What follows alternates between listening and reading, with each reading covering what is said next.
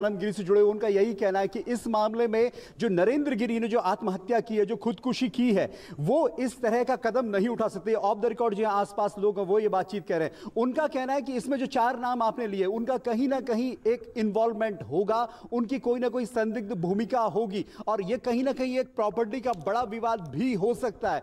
लेकिन हाँ ये बात भी ज़रूर है कि क्योंकि बड़े हनुमान जी, लेटे हुए हनुमान जी का जो मंदिर वहाँ इलाहाबाद में उसके जो अभी तक महंत थे जो वो थे, वो यहाँ पर नरेंद्र गिरी थे। और क्या आनंद गिरी नरेंद्र गिरी के बीच कोई मतभेद थे? ये बहुत सारी बातें अभी है। तो अब आनंद गिरी आगे क्या कुछ बोलते हैं? लेकिन उनके जो यहाँ पर जो सहयोगी हैं, जो उनको जो मानते हैं, उनका ये कहना है कि आनंद गिरी का यहाँ पर कोई दोष नहीं है। लेकिन लेटर में उनका नाम होना एक बहुत बड़ा क्वेश्चन है। और आनंद गिरी ये देख सकते हैं आनंद गिरी का पोस्टर उनके आश्रम के बाहर लगा हुआ है। और यहाँ पर वो स्वामी रामदेव के साथ नज़र आ रहे हैं। तो आनंद गिरी की भूमिका इस वक्त सबसे ज़्यादा यहाँ पर सवालों के घेरे में। और बिल्कुल मैं आपके पास आऊँगी उपेंद्र द्विवेदी भी हमारे साथ जुड़ गए हैं। आप लगातार निगाह बना के रखेगा कि आनंद गिरी को कितने बजे निकाला जाता है यहाँ से बाहर और फिर कहाँ ले जाने की तैयारी है इस पर निगाह रहेगी। साथ ही उपेंद्र भी हमारे साथ जुड़ गए हैं। उपेंद्र और क्या जानकारी मिल रही है इन्वेस्टिगेशन के मद्देनजर?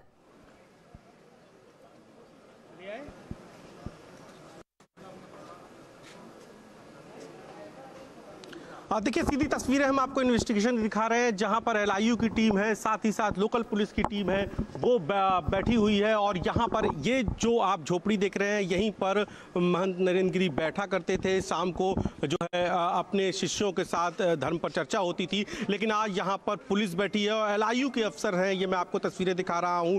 अखाड़ा परिषद के भी जो है उपाध्यक्ष है, वो भी बैठे हुए हैं और अब तक जो है, मैं आपको जो तस्वीरें के साथ साथ जो इस पूरे सस्पेंस पर जो तमाम सारे सवाल हैं सस्पेंस है